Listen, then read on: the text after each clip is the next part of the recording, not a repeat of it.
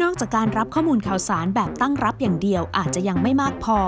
เราควรรับข้อมูลแบบเชิงรุกด้วย นอกจากข่าวสารยังเป็นการติดตามเฝ้าระวัง เช็คความเสี่ยงในการติดเชื้อโควิด -19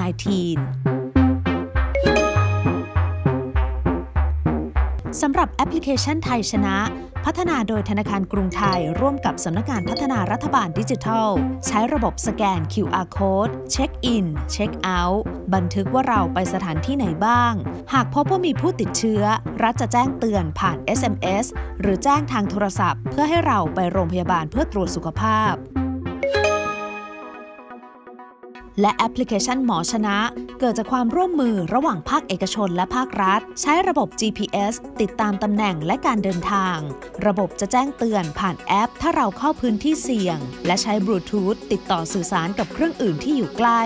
โดยแอปจะแจ้งเตือน หากเราอยู่ใกล้กับผู้ที่มีความเสี่ยงกระทรวงสาธารณสุขแนะนำให้ประชาชนใช้ทั้งสองแอปพลิเคชัน เพื่อช่วยเพิ่มให้การสอบสวนโรคเป็นไปได้อย่างแม่นยำขึ้น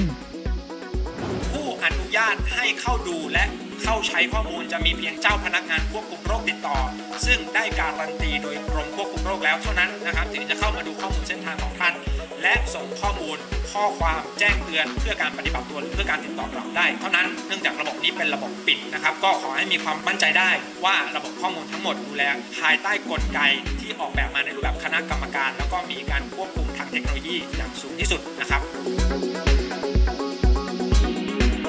อเราตั้งรับข้อมูลข่าวสารถูกแหล่ง เชิงรุกคือการใช้แอปพลิเคชันติดตามเฝ้าระวัง เช็คความเสี่ยงต่างๆ สิ่งสำคัญอีกอย่างหนึ่งคือการรักษาสุขอนามัย เพื่อป้องกันโควิดอย่างถูกวิธี เพราะถ้าปฏิบัติไม่ถูกวิธี คุณก็คือกลุ่มเสี่ยง